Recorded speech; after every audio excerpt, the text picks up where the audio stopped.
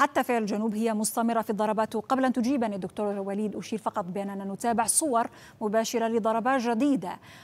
مع التأكيد دائما بأن الجيش الإسرائيلي أعلن بدء الهجوم البري في جنوب القطاع في خان يونس تحديدا. 100% هذا الذي كنت أحاول أن أشرحه. أن المشروع الأساسي لم يكن بالنسبة لإسرائيل حسب ما نفهمه بواشنطن نحن لا نفهمه من الإسرائيليين ولكن من أصدقائهم في واشنطن. المشروع الأساسي كان إسرائيل عملية في الشمال وطرف آخر يهتم بالجنوب. ليس ماذا وإلا حماس سوف تذهب أيضا إلى الجنوب.